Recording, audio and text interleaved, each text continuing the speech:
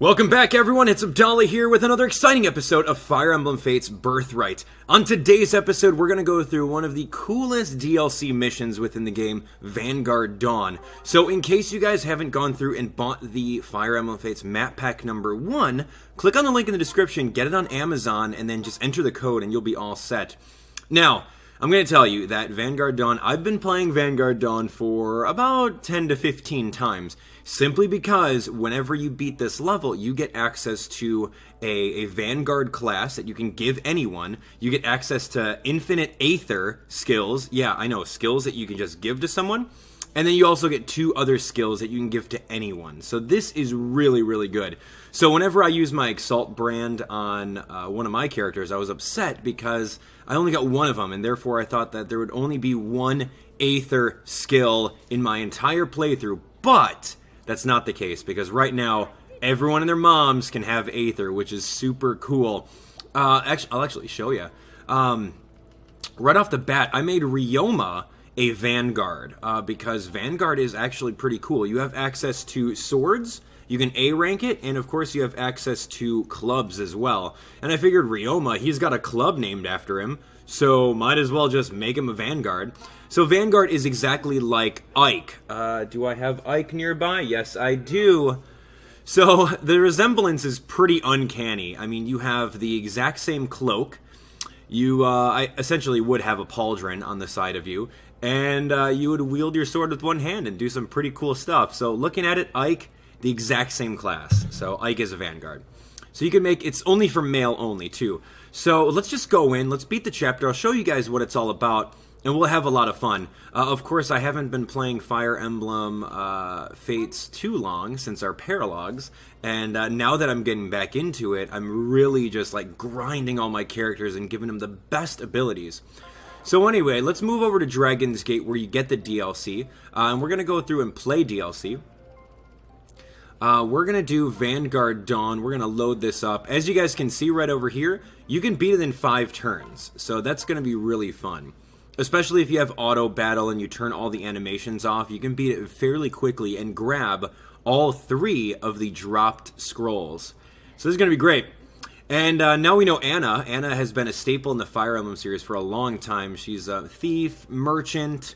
Uh, you guys know her. She's a cute redhead, and she's she comes from a long line of different Annas, apparently. Uh, welcome, one and all, to the Outrealm Trial Grounds. If you don't think you're tough enough yet, you will be once you finish this challenge. Uh, if you manage to come out on top, you'll get something nice in the bargain to boot. Uh, what's the challenge? Glad you asked. Your job is to defend this historic fortress. I gotta say, the odds are against you.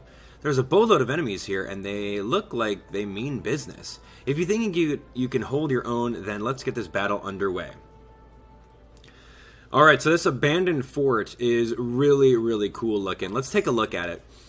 Uh, you're going to start right over here at the very top of the fort, and you're going to work your way down, while in fact everyone's going to work their way up because there is a spot right over here that they can seize and give you a game over, so be very careful about that. Now the bottleneck routes are one of like one, two, three. There are three bottleneck routes right over here in the stairway. They can essentially come up over here. They can break this wall, this partition that has only 40 HP, and go straight up to the middle. Or they can come over here on the right side. Now there's also there's a corridor over here that you can bring one of your characters on board. The main bosses, well, at least you finish the episode. Either you survive uh, 12 turns, which is not really what you want to do because you want to destroy everyone, um, or you take care of the bosses. Now, the boss right over here has the scroll called Heavy Blade. This allows you to gain the skill. You can give the skill to anyone, which is super cool and non existent in any of the Fire Emblem Fates game yet. You can't just give skills to someone, you have to inherit them or learn them, but now this is you can give it to someone.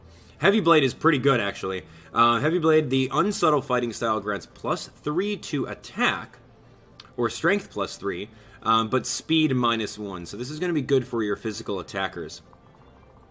Next person is right over here. Uh, this one is Aether, and we all know what Aether does. Uh, gives the skill Aether. Aether is so good. I'll actually show you. Um, I gave Aether to Abdallah over here. Using Sol and Luna in succession when attacking. The trigger is half of your skill stat. So my skill stat is 35, so half of that, uh, 17% chance of it triggering. But then at the same time, if you have abilities like uh, Quixotic or Hoshidan Unity, that's going to definitely boost that chance up. And then, of course, our last person over here is Veteran Intuition. Grants a unit the skill Veteran Intuition, and that what that does is that grants 15 dodge during battle. So that's pretty decent if you have um, a unit that's pretty fragile and doesn't have too much defense. Give them more dodge and allow them to dodge more attacks. All right, so this is going to be a pretty long one, I can say. Uh, you guys want all the animations on, so we're going to give you the full nine yards. Uh, let's actually go through and switch up our people a little bit here. Um, certain people I won't need. Uh, I don't need Tsubaki or Sakura. I don't need Kagero either. I mean, I could bring Izana. I was starting to actually use Izana. Uh, and Shiro, and Asugi, and Hisame. I'm starting to use all these guys, so uh, I've been kind of slow on my regular uploads because I've been playing a lot off screen and grinding my characters. So let's do this. Where's my Vanguard Ryoma? Here we go. Ryoma's so good. Alright, so Ryoma's going to come this way. Selkie. Oh my gosh, you guys should see my Selkie. My Selkie's got all of the breaker skills, so she's untouchable. Uh, she got Sword Breaker, Lance Breaker, Axe Breaker, Shuriken Breaker, and Tome Breaker. So anything you want to throw at her, she's going to nimbly dodge out of the way and beat you up. Uh, Takumi, where are you, Takumi? Takumi over here. We're going to actually bring him this way. Uh, we have Rhajat. Where's Caeldori?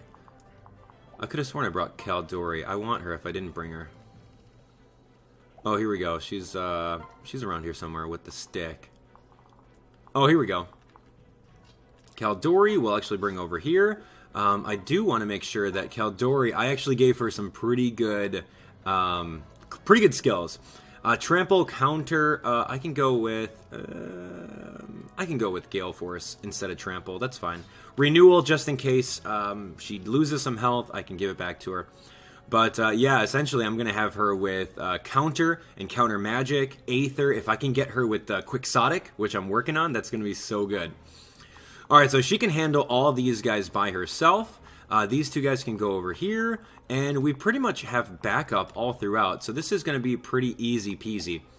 Let's go through and let's just fight and see if we can beat all these guys. I know we can because we've beaten it in five turns before. So defeat the bosses or survive 12 turns. All right, we have our animations on. So right off the bat, I'm going to bring her over here with a little bit of Ox Spirit.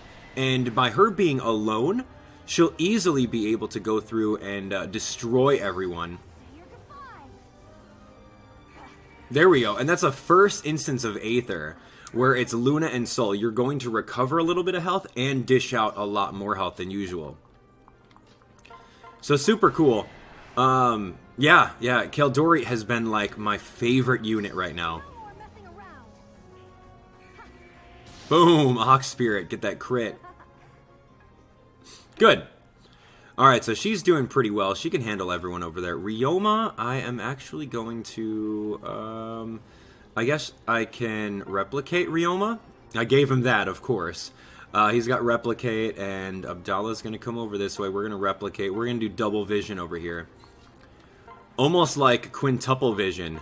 So we're going to replicate this. I'm going to bring uh, Shiro over here. We're going to break this wall and just go downward.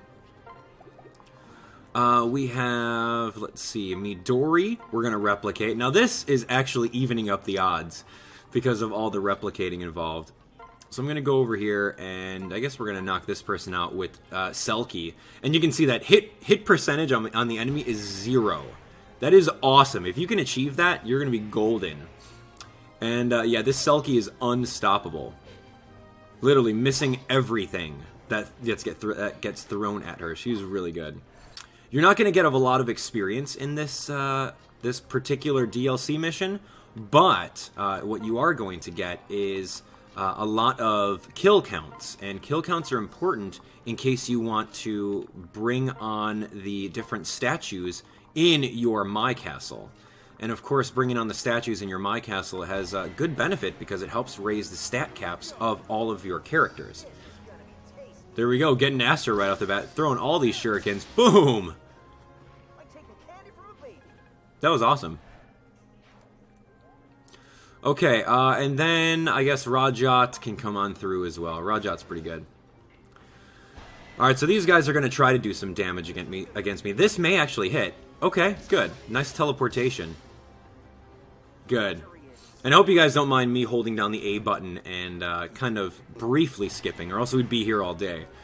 So here goes a guy that's going to attempt to do one damage, and he did. Wow, by throwing a javelin. This guy's going to do 21. Wow. Oh my. Whoa, Spendthrift. What are you doing?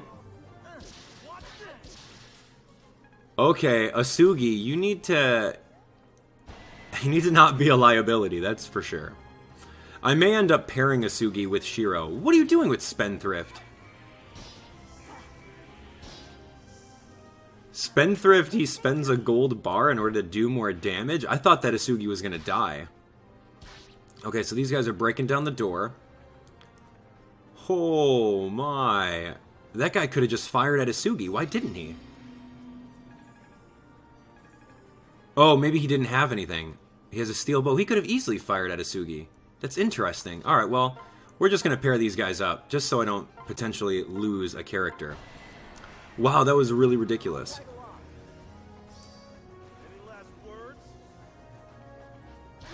Boom. Wow, right through him and stepped on him. Wow, I'm like right on his head. Wow, no respect. That's pretty interesting. Okay, so we're going to go on through and we're just going to... The double Takumis are just going to destroy these guys. Really nothing to it. Just destroying them. Just taking souls. And that's what's cool about Takumi. I mean, the Fujin Yumi is like one of the best weapons. And of course I gave him Aether as well. So he does a Luna hit and at the same time just goes through. So good. Alright, Rhajat using the Ox Spirit. Here we go. 43. Oh my gosh. Aether activating everywhere. And a crit Aether to boot. Boom! Good job. Alright, so we're going to actually move on down this way because Abdallah, oh man, Abdallah wants to really sink his teeth in. Alright, here we go. We're going to go Blessed Bow. Now, I like the Blessed weapons because although they initially lower your defense by a little bit, um, what happens is that at the end of the turn, you're guaranteed to get 10 HP back, which is really good, I would say. So if you guys don't have any of the blessed weapons, I would highly recommend getting them and utilizing them. Especially if you're grinding in the DLC uh, Boo Camp. That's going to be perfect for you. Alright, so here we go. This guy, he has a Silver Caddy, which is pretty strong, so I would watch out. And a Silver Caddy can attack from one to two spaces away. But of course, my Caeldori is just too good. And, uh, She's going to dodge it and, of course, retaliate with an Aether. Oh my gosh. Aether firing all over the place. Crit Aether. Boom. 78.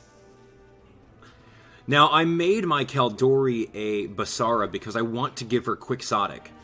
And uh, Quixotic is going to be really good for her.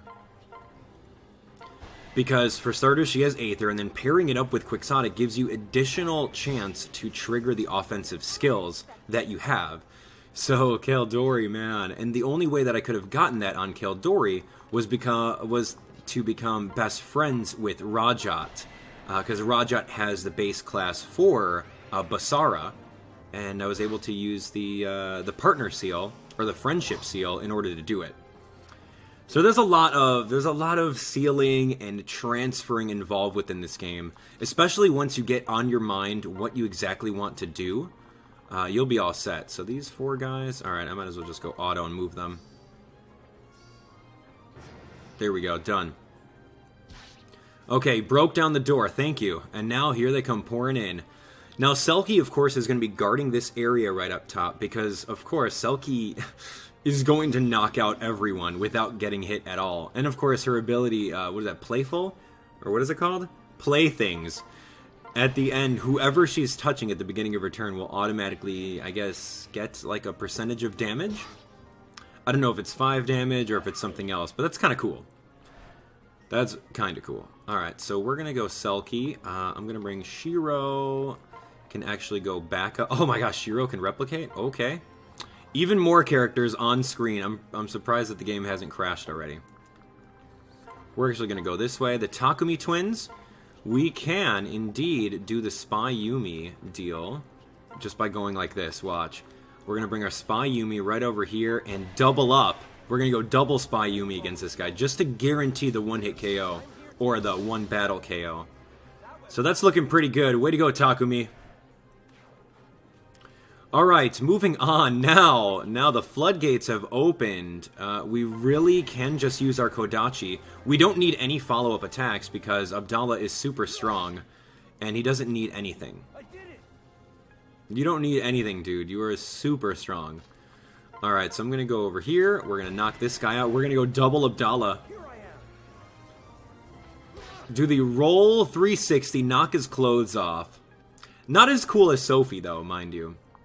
Alright, Mr. Raijinto, uh, let's actually attack with our Ryoma's club. Because you have yet to see Ryoma use his actual club. Even though it looks like a sword. Boom! Wow! Like Link from Smash Bros. Link's down air. That was awesome. I was not expecting that. Let's actually use Ryoma's club again. I haven't really seen all these animations. Whoa, that is clearly Aether! What? that is clearly Ike's up and B in Smash Bros. So cool. Throw it up in the air and then land right on them. That is very awesome. I'm glad that they did that. So cool. So cool. Look at these guys. I can actually just snipe them down. Silver Naginata, Steel Bow. Yeah, let's let's snipe these guys down. 21. Okay, that's not going to work. But if I double on him, Silver Naginata, I'm going to use Moonlight. Izana is not that strong. Great. I was going to say, I really don't want to lose Izana right now. I don't want him to be a liability. That's 29, 100%. We can knock him out. Getting that double. Whoa, two. Moonlight looks pretty cool. I usually don't use it, but uh, with Moonlight, you get uh, instant health at the very beginning, or at the end of the turn, which is pretty good. Alright, Spirit Katana. We're going to go over here with Kiragi. We're going to wait. Uh, and who do we have left? Oh, oh, yeah. That's right. Uh, we have our good friend Caeldori.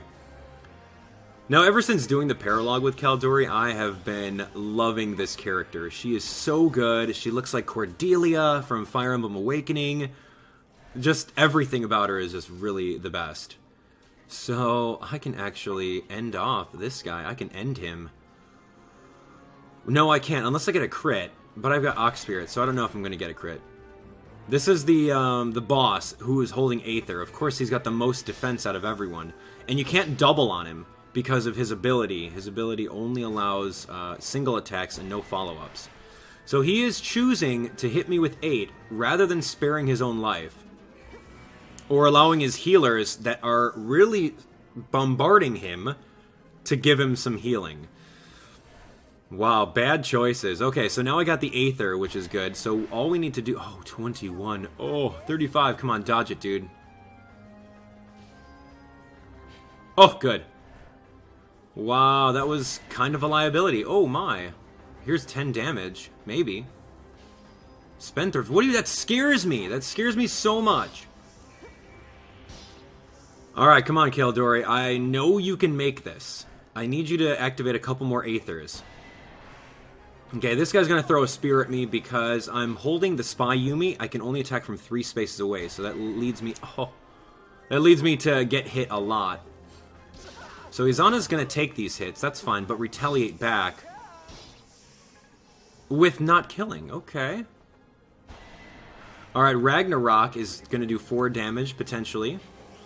Wow, no way. Just step back and launch this Kodachi right at him. Oh, of course, you would heal him 24. What a joke. Okay, now these guys are moving up. So I really need to... I just need to plow through these guys. That's what I have to do. Alright, Izana is going to be healing. That's good. I'm kind of worried about Kiragi. Um, I don't have a weapon, but I guess I could just wait right here and attack this dude. 18, yeah, yeah, we'll do this. 18 plus 13, 14, and 4. I'll be okay.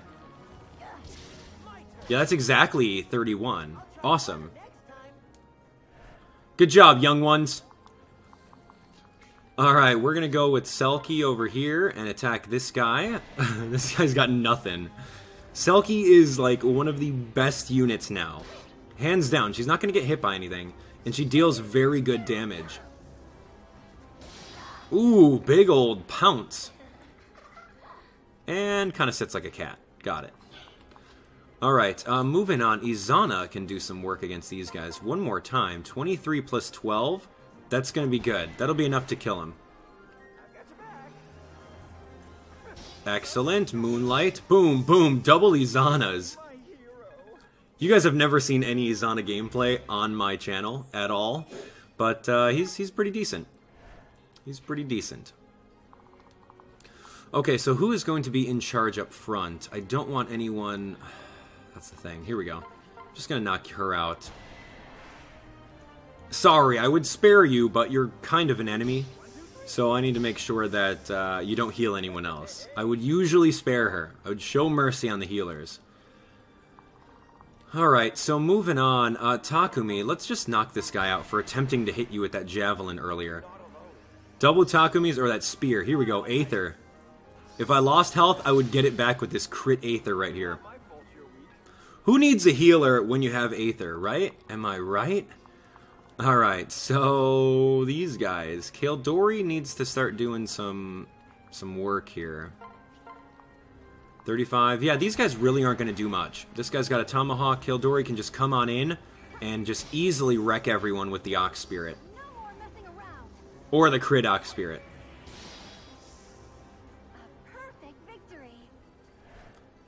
Alright, here we go. Oh, yeah, that's right, Gale Force. that's the thing.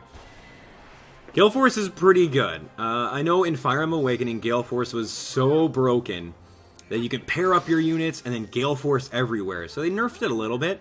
But uh, with Caeldori, I mean, she's just a, a one-woman army, and I really like her like that. She just goes wherever she needs to. She has the ability renewal, so she'll get 30% of her health at the very beginning of the turn. And uh, of course, she's got Aether. She's going to be soon to be having a Quixotic. And all that good stuff. So here we go, Mr. Raijinto in action. Busting out the Aether. Boom! Looking like Ike, man. We like Ike. Alright, I guess I'm gonna have to toss some Kodachis at these healers. I don't know. Boom! Knock her shirt off? I'm sorry. I won't look, I promise. Alright, uh, where else are we going? We're really just gonna knock these guys out, I guess. Okay, this guy is gonna get wrecked. Dude, knock his little helmet off. And of course, my characters are super leveled up, so just deal with it. Alright, let's go with this guy. Spies Yumi. 32 plus 14. You're done. Boom! And it's cool because although Midori doesn't have a Spies Yumi, since she's paired up next to him, she's going to launch one from four spaces away. How crazy is that? That's like a plot hole. Alright, actually I should have brought Takumi over there. We're going to end right here, because the only person that I want to go down there is Selkie. I don't trust anyone else. Wow! Doing some damage! Alright, well you gotta get that damage back, buddy. Look at this! Ooh! Boom! Jump and stab. They're going after Mr. Raijinto.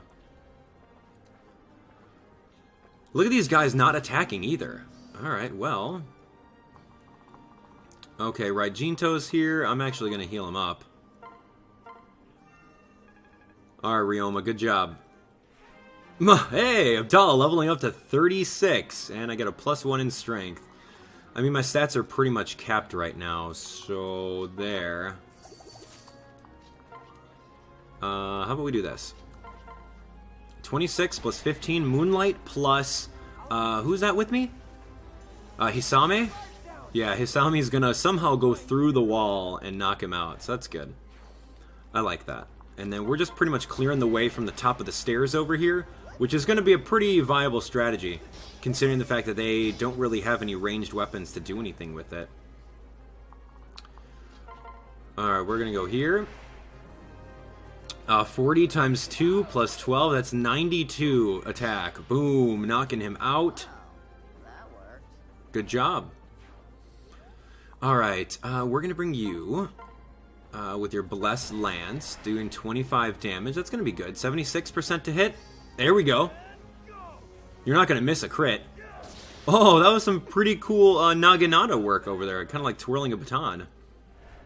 Good job. And as you can see, I made him a Basara as well in order to get Quixotic to pair it up with Aether. So that's going to be super good. Alright, we're going to go over here. Of course, I could bring Takumi. And we can attack this one. 29 plus 18 with the Spy Yumi. Of course, why wouldn't I? Nice, dude. Boom! Takumi is like one of the best characters in the game. Hands flipping down. Oh, I can't attack that guy. Dang it. Alright, that's fine. Alright, so I guess Caeldori can knock this one out. That's fine. Go ahead. It's just a little old healer. Forgive me for throwing the many oxes at you. Okay, and I get Gale Force. Um, let's, I guess, um, there's really nothing to do, nowhere to go. Where this is pretty much end game right over here. We'll knock this guy out. And like I said, if you're not as powerful in the game, you want to stay up top a little bit and then slowly make your way down. You don't necessarily want to blitz it because you have 12 turns in order to go to the bottom and get the bosses. Throwing this tomahawk, wow. Ooh, wow, okay. Alright, so more guys are coming out here. Watch, we're going to bob and weave right through here. We're going to bob and weave right through these guys, and we are going to knock this one out. But before we do so, I could actually go in here and attack one of these guys. 34. Yeah, you want to maximize on your kills and maximize on your... Wow, that was cool looking. You want to maximize on your experience as well. Because as soon as you destroy the boss, then it's going to be game over and you just get everything.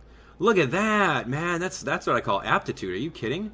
He's not even holding aptitude and he got that really good stat boost.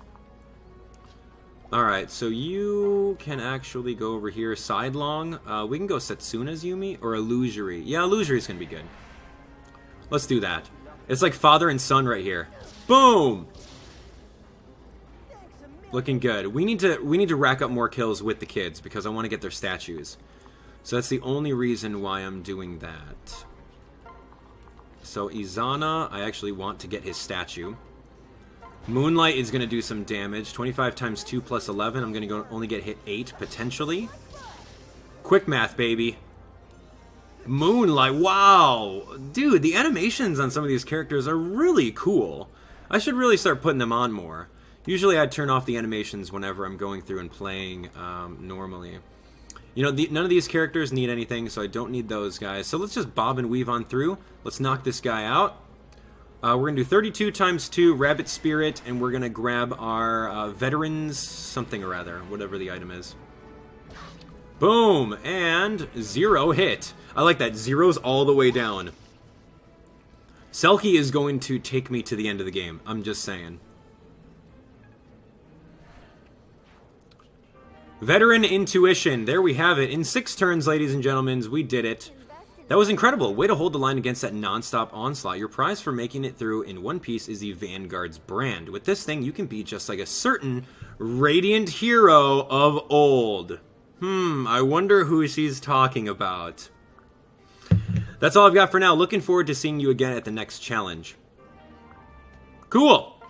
So there we have it. Now we have uh, the ability Aether, and we have some extra tomes that we can use those skills for. So let's go through, and I'll, I'll show you exactly what, what we mean by using them.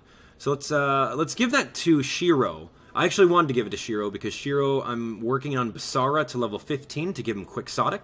And then once he has that, that's going to boost the chances of Aether happening. And if everyone has Aether, we're going to be set and good to go for endgame.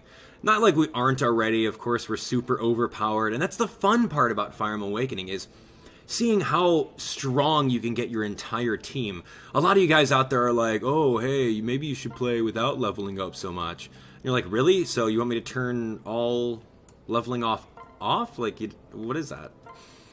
Anyway, so we're going to go over here. We're going to use this Aether. Grants a unit the skill Aether. So just by using it, uh, if you have no skill slots available, it will be added to your skill list. So let's go ahead and do that. And then, of course, uh, you can use a Vanguard brand and essentially turn him into the otherworldly class leader of a band of heroes, uses swords and axes. I can make him a Vanguard if I wanted to, or you can make any male unit a Vanguard. So let's go to equip skills. Uh, Shiro, Shiro. Uh, I guess he was kind of towards the top. So Shiro. Let's go Aether. Trade for Sol. Actually, I should trade for um, Luna. And then trade Sol for something else. Ooh, wow. Quick Draw, Spendthrift. When attacking, expends a held gold. Yeah, I don't need that. Veteran Intuition's pretty good for dodging. Rend Heaven's good. Quick Draw's good. We'll go with Quick Draw. We'll trade there. And then, of course, what I like to do is I like to range my Aether on top. So that when I go through, you can see who has Aether and who doesn't. So one, two, three. Aether Quixotic. Uh, four, five, uh, six, seven, mm, seven, eight, nine, ten, eleven.